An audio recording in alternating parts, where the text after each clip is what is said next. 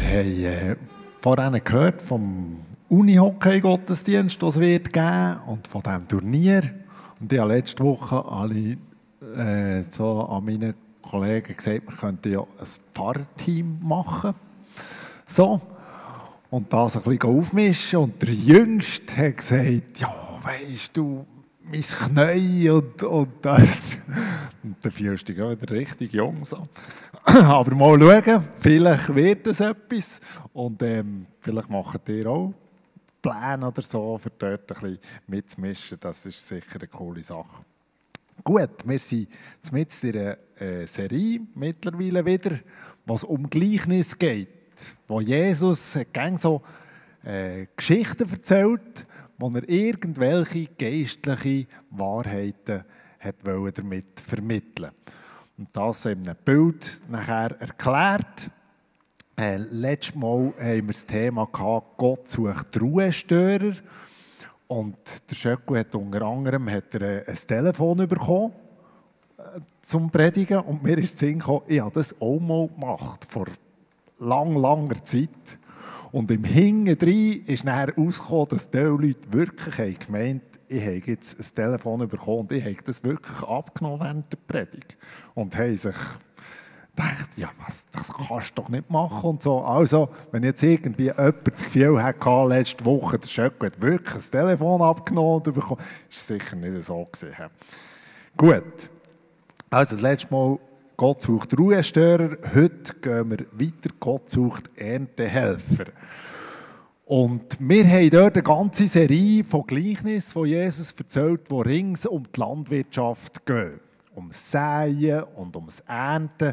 Da gibt es das ganz bekannte Gleichnis, wo ein Sämann tut eben säen, was so ein Sämann halt macht. Und das, der, der Samen der geht auch auf, auf festen Grund und geht nicht auf. Und der geht ins Giet und erstickt. Und der geht eben dann wirklich auf.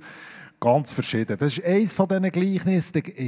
In der gleichen Serie ist das das Gleichnis vom Senfkorn, wo ja ganz ein kleines Körnchen ist, wo Jesus sagt, so ein kleines Körnchen wird zu einer riesen Studie, oder? Und das vergleicht mit einem Glauben, wo auch aus Kleinem ganz Grosses kann entstehen kann. Und in dieser Serie steht eben nachher auch das Gleichnis von Unkraut und Weizen oder vom Unkraut im Weizen, das, was wir heute zusammen anschauen. Und zwar steht das in Matthäus 13 ab dem Vers 24. Jesus erzählte noch ein anderes Gleichnis. Das Himmelreich ist vergleichbar mit einem Bauern, der gutes Saatgut auf sein Feld säte. Doch in der Nacht, als alles schlief, kam sein Feind und säte Unkraut zwischen den Weizen und ging wieder weg. Als das Korn zu wachsen begann und Ähren ausbildete, kam auch das Unkraut zum Vorschein. Da kamen die Arbeiter des Bauern und sagten, Herr, das Feld, auf dem du gutes Saatgut gesät hast, ist voller Unkraut. Das hat mein Feind getan, rief der Bauer aus. Sollen wir das Unkraut ausreißen? fragten die Arbeiter. Er antwortete, nein, wenn ihr das tut, schadet ihr dem Weizen.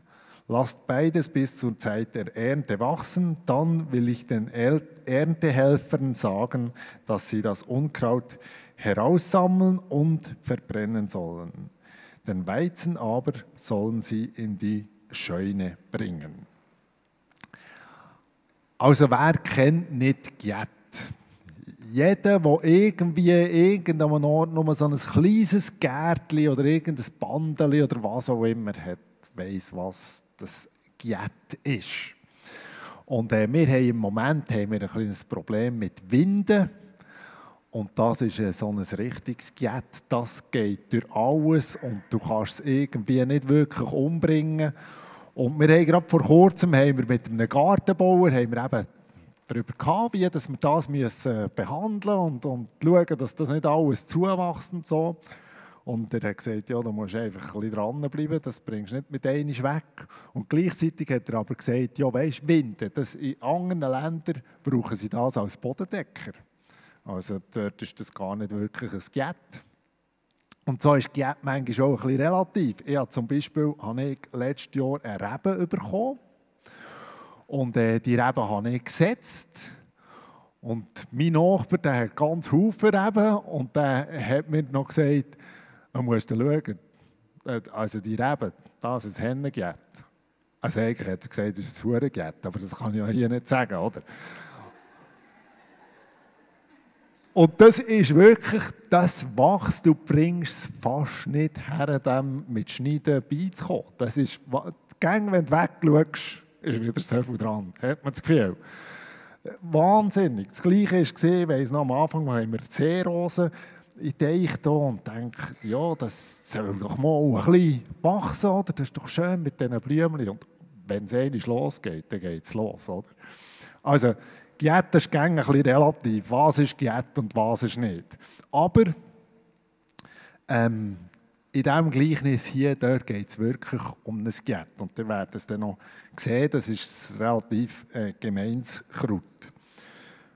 Als Jesus das Gleichnis hat erzählt war er mit den Jüngern dort und er ist nachher mit ihnen heimgegangen. Sie waren für sich und schlussendlich haben die Jünger gefragt, du, was bedeutet jetzt genau das, äh, das, das Gleichnis, das du hier hast erzählt, von dem Unkraut im Weizen. Und in den Vorbereitungen für die Predigt habe ich zu meinen Kollegen gesagt, ja super, oder? Ich meine, was soll ich da noch sagen, wenn Jesus doch das Gleichnis erklärt? Weil mit Jesus willst du nicht theologisch anlegen. So. Und ähm, aber gleich, denke ich, macht es Sinn, wir schauen die Erklärung zusammen an und dann gibt es noch zehn oder andere, wo man vielleicht ein bisschen äh, zeigen kann und ähm, wir uns Gedanken darüber machen Aber lesen wir mal zuerst, wie das Jesus das Gleichnis erklärt. Matthäus 13, ab Vers 36. Dort heißt danach ging Jesus ins Haus und ließ die Menschenmenge draußen stehen.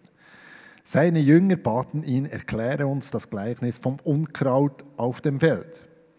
Jesus sagte, der Bauer, der den guten Samen aussät, ist der Menschensohn. Er, er, hat sich selber, Jesus hat sich selber immer als Menschensohn bezeichnet. Also der Bauer, das ist er selber. Das Feld ist die Welt und der gute Same steht für die Kinder des Himmelreiches. Das Unkraut sind die Menschen, die zum Satan gehören. Der Feind, der das Unkraut zwischen den Weizen aussät, ausgesät hat, ist der Teufel. Die Ernte ist das Ende der Welt und die Erntehelfer sind die Engel. Genauso wie das Unkraut aussortiert und verbrannt wird, so wird es auch am Ende der Welt sein. Der Menschensohn wird seine Engel schicken und sie werden aus seinem Reich alles entfernen, was zur Sünde verleitet und alle Menschen, die Böses tun und sie werden sie in den Ofen werfen und verbrennen. Dort werden sie schreien und mit den Zähnen knirschen.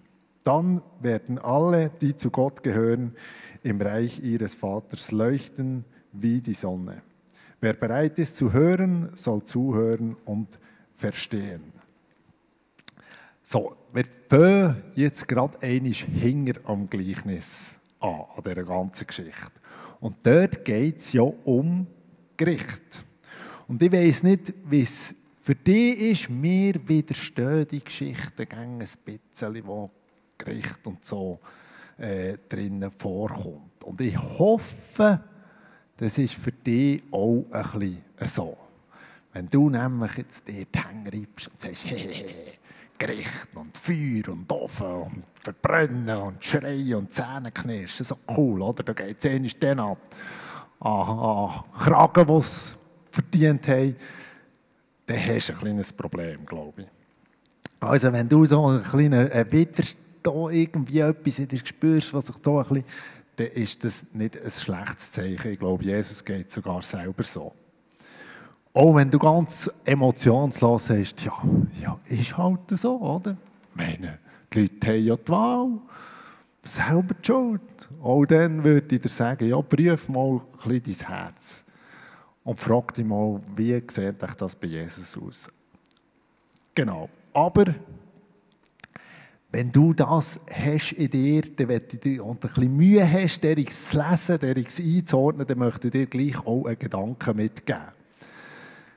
Nämlich, wenn wir ehrlich sind, dann sehnen wir uns eigentlich ja nach dem Gericht. Das tönt jetzt ganz, ganz komisch. Aber ich sage es ist anders. Wir sehnen uns nach Gerechtigkeit. Oder? So stimmt es dann irgendwie schon. Wir sehnen uns nach Gerechtigkeit. Und Gottes Gericht wird die Gerechtigkeit bringen. So erzählt uns die Bibel. Wenn die Bibel vom Himmel redet, dann sagt sie, dass gewisse Sachen so die zukünftige Welt nicht werden überleben. Krieg wird es nicht in die neue Welt schaffen. Vergewaltigung wird es nicht in die neue Welt schaffen. Missbrauch, Gier, Stolz, Spaltung und so weiter, alles Sachen, das wird es nicht schaffen in die Welt, wo Gott sagt, dort wird es gut sein, dort wird es keine Tränen mehr geben, dort wird es keine Trauer mehr geben. All diese Sachen werden es nicht dort schaffen. Und dass die neue Erde oder dass die Erde kann befreit werden kann, müssen bestimmte Sachen zuerst einmal verbrannt werden, in Rauch aufgehen. Das ist das, was hier von Unkraut Rede ist. Entscheidungen müssen getroffen werden. Urteile müssen gefällt werden. Und der reinigende, der läuternde Tag, da redet die Bibel vom Tag des Herrn oder vom Tag des Gerichts. Und das ist eigentlich nichts anderes als der Tag, wo Gott sagt, so, jetzt ist genug. Jetzt längt's. Nein zur Ungerechtigkeit, nie wieder irgendwie etwas, das andere Menschen verletzt vollkommenen Himmel auf Erden. Und das ist erst möglich durch den Tag vom Gericht. Also wichtig, wenn du das nächste Mal hörst oder vielleicht dir selber sagst, ja, ich kann irgendwie nicht an einen richtenden Gott glauben. Mir kann das sehr wohl. Und wenn wir ehrlich sind, wir können uns eigentlich gar nichts anderes vorstellen. Weil ohne das gibt es ja keine Gerechtigkeit und das wäre nachher sehr etwas ähm, Fragwürdiges für uns. Wir merken das gang dann, wenn es irgendeinem Ort so ein richtig schlimmes, unfassbares Verbrechen gibt. Dann geht ein Aufschrei durch die Bevölkerung durch. Alle rufen nach Gerechtigkeit. Auf Mal, je nachdem, wie, wie, schlimm das ist, hast du plötzlich wieder Stimmen, die nach der Todesstrafe rufen und, und weiss nicht was. Derige, die sich vorher nicht hätten vorstellen können, reden plötzlich auch so. Also, dort merkst du auf Mal, wenn die Ungerechtigkeit genug hoch ist, genug schlimm ist, dann regt sich bei uns plötzlich etwas, wo wir ja, merken, ja, wir wollen Gerechtigkeit. Nur, wie sieht die aus? Gleiches mit Zorn. Wenn du sagst, ja, ich kann mir keinen zornigen Gott vorstellen, wie sollte Gott sonst reagieren, wenn zum Beispiel ein Kind zur Prostitution gezwungen wird? Wie sollte Gott anders reagieren als mit Zorn? Wie sollte er anders empfinden, wenn Menschen verhungern, weil irgendwelche Hilfsgüter einfach auf die Seite geschafft werden oder was auch immer? Wie sollte Gott anders reagieren als mit Zorn? Und wir sehnen uns nach, nach dem Gericht. Wir wollen, dass Gott Gerechtigkeit schafft. Wir warten auf den Tag, wo Gott sagt, jetzt ist genug. Besonders wenn wir irgendeinem Ort Ungerechtigkeit äh, erleben. Wir sehnen uns danach, dass das Böse und Schlechte vernichtet wird. Und wenn du sagst, ich glaube nicht an die Hölle, ich, halte das Wort Sünde, das habe ich nicht gern, dann musst du nur danach mit jemandem reden, der richtig, jetzt, wo, wo richtig das Böse ihm begegnet ist, gerade frisch. Und dann merkst du plötzlich, ah, vielleicht ist es mir einfach nur mal lang genug nicht mehr so richtig begegnet, dass ich weiß, was das, das heisst. Also verstehst du, wieso dass ich sage, eigentlich, wenn wir ganz ehrlich sind, sehnen wir uns nach dem Gericht. Das klingt komisch, aber der Punkt ist, wir sehnen uns nach Gerechtigkeit. Und für unsere gefallene Welt wird Himmel erst möglich durch Gericht. Aber, und jetzt kommt eben das grosse Aber. Und damit auch die gute Nachricht von dem Gleichnis. Nämlich, wir sind nicht zuständig für das Gericht. In keinster Art und Weise. Wir sind nicht zuständig für die letztliche Gerechtigkeit. Und der Billy Graham hat das eigentlich gut gesagt. Hat gesagt, der Heilige Geist ist verantwortlich, Menschen von Schuld zu überführen. Jesus ist verantwortlich, zu richten. Und ich bin verantwortlich, Menschen zu lieben. Das ist mein Teil. Jesus sagt mit dem Gleichnis hier, hey, liebe Leute, das Endgericht, das ist Chefsache. Das geht euch nicht an. Du weißt nicht wirklich, wie das Gerechtigkeit geht. Ich weiß auch nicht wirklich, wie das Gerechtigkeit geht. Wir können dazu lernen, wir sollen dazu lernen, wir können eine Ahnung davon bekommen, was das richtig und was falsch ist, aber es wird immer nur ein kleiner Teil vor Wahrheit und vor Gerechtigkeit sein, was du und ich im Auge haben.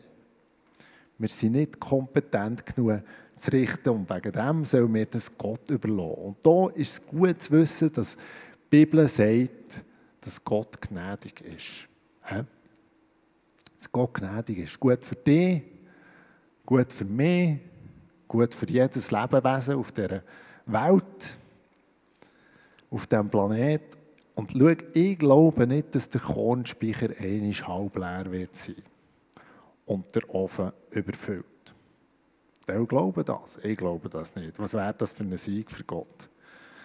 Äh, der hat Gott quasi verloren, er hat zwar das Böse vernichtet, aber ich glaube, Gottes Gnade ist so viel groß, dass der Kornspeicher wird überfließen, dass die Hölle plündert wird und der Himmel bevölkert. Das ist das Bild, das ich habe. Zum Glück wird Gott richten und nicht wir. Ich glaube, wir wären unbarmherzige Richter. Und von ihm heisst es etwas anderes. Aber schauen wir noch den ersten Teil vom Gleichnis an. Jesus beschreibt die Welt als ein Feld. Und er selber, eben der Menschensohn, der sagt gute Saat aus. Im anderen Gleichnis steht Saat für sein Wort, das, was er lehrt.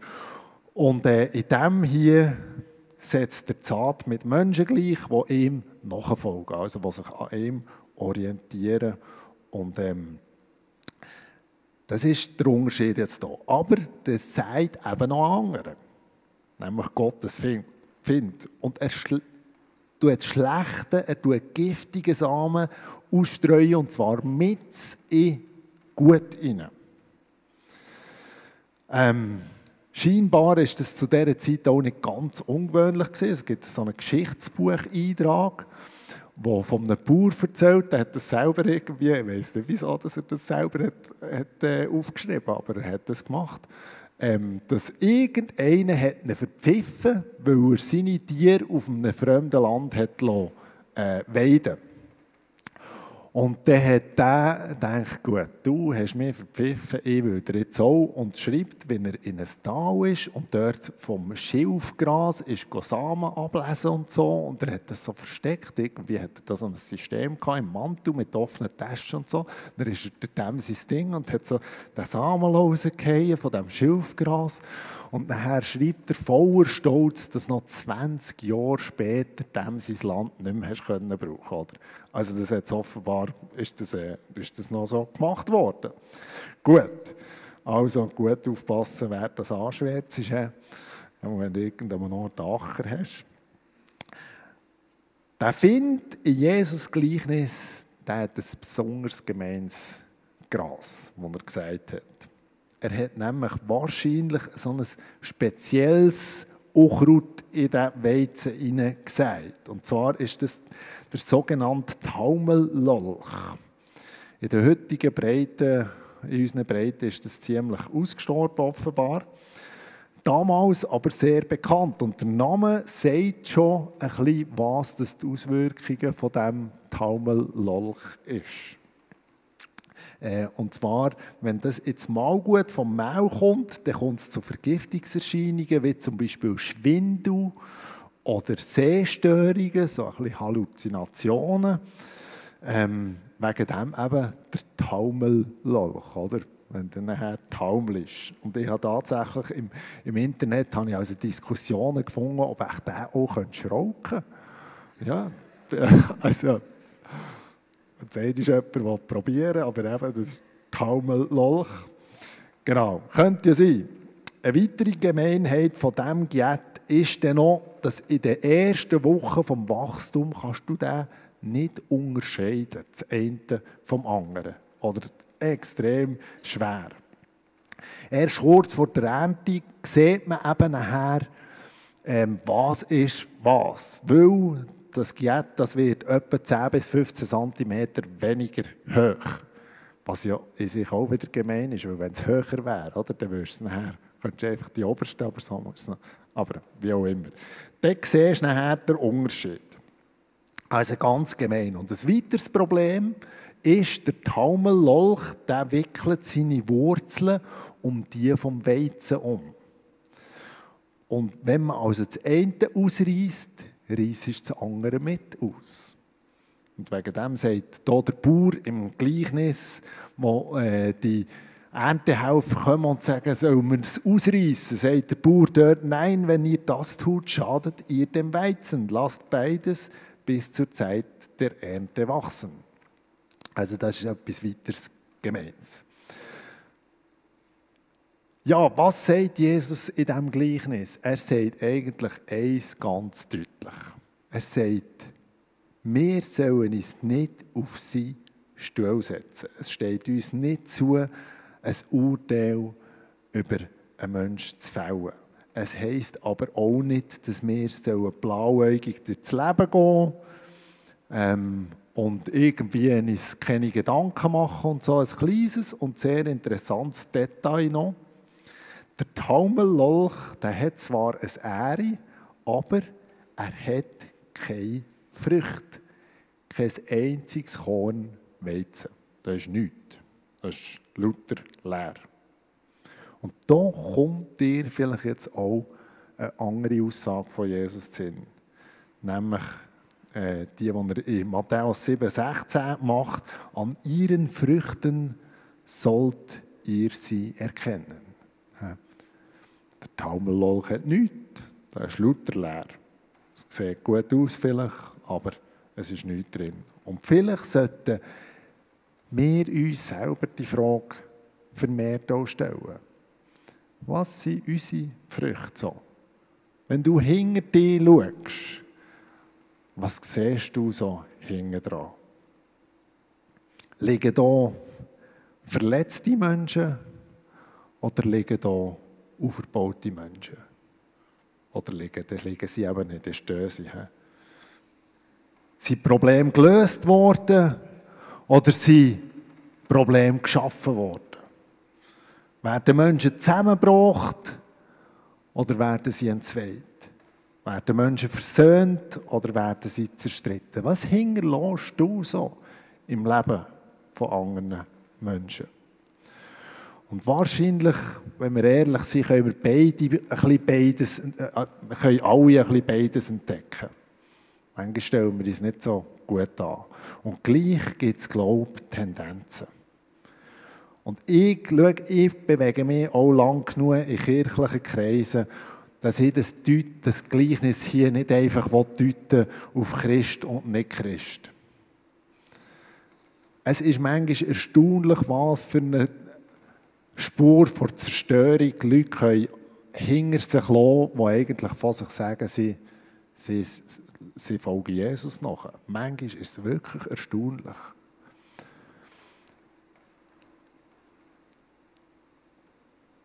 An ihren Früchten werdet ihr sie erkennen. Oft ist in Kirchen das Bild vermittelt worden von der bösen Welt draussen und wir hier die Richtigen hier innen.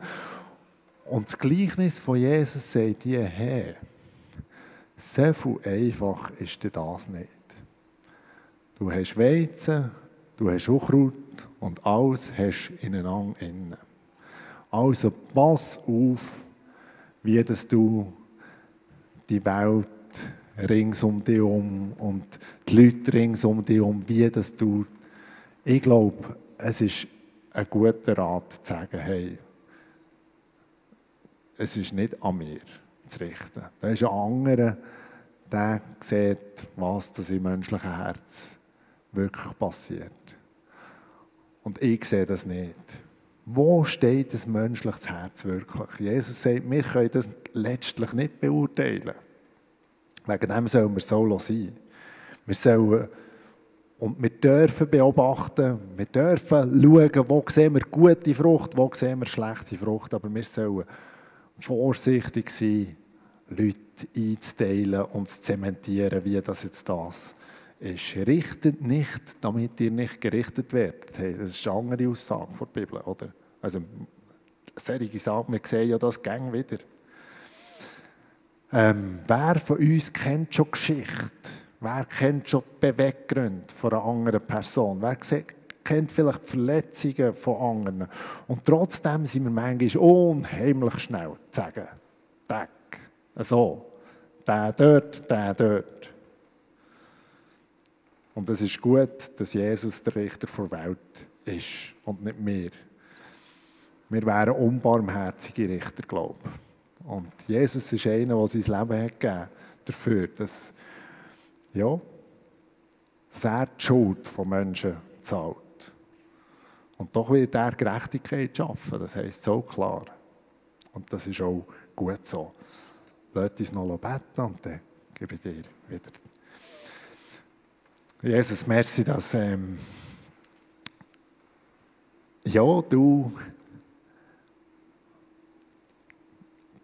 die Verantwortung allein tragen ähm, Sagen, was ist gute Frucht, was ist Unkraut. Und merci auch für die Entlastung, die da kommt in diesem Gleichnis. Wo du uns aufforderst und sagst, ihr, müsst, ihr seid nicht verantwortlich für, für das Endgericht. Das mache ich. Merci dürfen wir einfach äh, wissen, du schaust alle Menschen liebevoll an. Merci dürfen wir wissen, du bist gnädig und du hast, ähm, ja, du bist gnädiger als wir. Und ich bitte dich, dass du uns hilfst, uns selber mal zu reflektieren und zu schauen, was hinterlassen wir eigentlich in unserem Leben. Wo ist die Frucht gut und wo ist sie faul oder wo ist sie gar nicht da? Und dass du uns aber auch dort einfach äh, ja, ein bisschen auf die Finger klopfst, wo wir Leute einfach quasi äh, beurteilen und verurteilen, wo du sagst, das ist nicht euer Job. Ich bitte dich, dass wir äh, ja, dort einfach dürfen unseres machen, was du sagst. Wir sollen Leute auf dich herweisen, wir sollen äh, uns orientieren an dem, was du lehrst, was du sagst, was richtig ist und was falsch ist. Wir sollen das Böse meiden und das Gute machen. Und dass wir Leute dürfen einfach äh, lieben, Jesus, wie du so liebst, Herr. Amen.